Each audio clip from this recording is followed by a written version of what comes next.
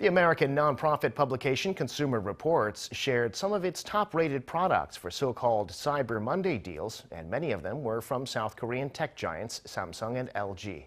In the category of horizontal speakers or sound bars, those companies accounted for most of the 17 models it recommended. Seven were from Samsung and four were from LG.